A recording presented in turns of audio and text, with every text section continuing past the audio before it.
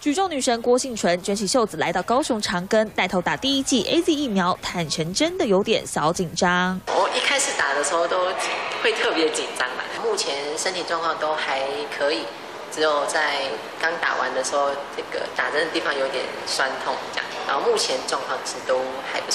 郭庆纯即将参加下个月十六号在乌兹别克的亚锦赛，拼东京奥运的门票。趁出国前赶快打疫苗。还有空手道小清新文姿云也同时打完，就觉得说，呃，哎，会不会痛啊，或是有什么不良反应啊之类的。但是到现在，其实现在就是有一点点的肌肉酸痛，但是到目前都还 OK。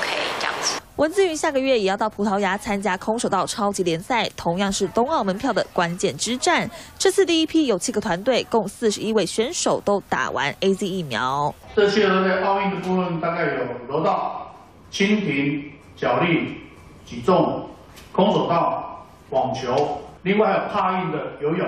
冬奥代表团出估将会有一千人进行疫苗施打，目标在四月份打完第一季，让国手为冬奥做好万全准备。三立新闻李文顺、高顺宇特报道。